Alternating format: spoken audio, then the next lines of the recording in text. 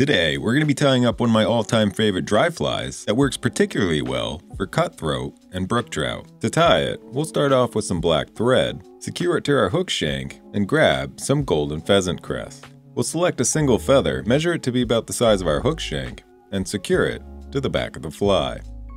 Continue securing it up the hook shank, stopping just short of the hook eye. Snip your excess free, and cover up the tag ends. Next, we'll grab some peacock herl. selecting one or two fibers, securing it to our hook shank and wrapping back towards the tail.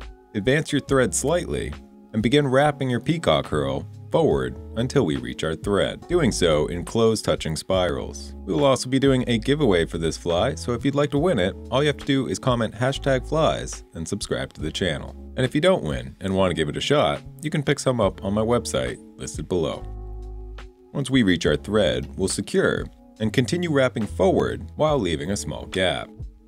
We'll then advance the thread past the peacock herl and continue to palmer the peacock herl just as before, this time making it slightly shorter. Once complete, secure with your thread and snip the excess free. We'll also snip our thread free and switch over to a red thread. Here I'm using a flat 140 Ultra thread. Secure it to your hook shank, snip the excess free, and use your thread to build up a prominent base. This will be the hot spot of the fly. Once happy, we'll whip finish to secure it in place and snip the excess free. Once again, switching over to our black thread.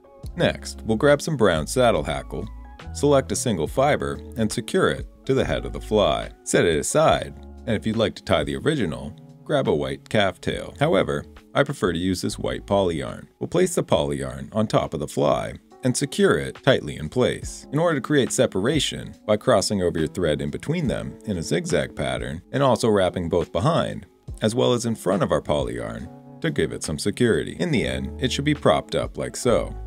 Once happy, we'll grab our saddle hackle and begin to hackle it forward in close touching spirals, wrapping it in between our poly yarn when we get there, and continue doing so until you reach your thread. At which point we'll secure by taking thread wraps both in front as well as behind and snipping the excess free.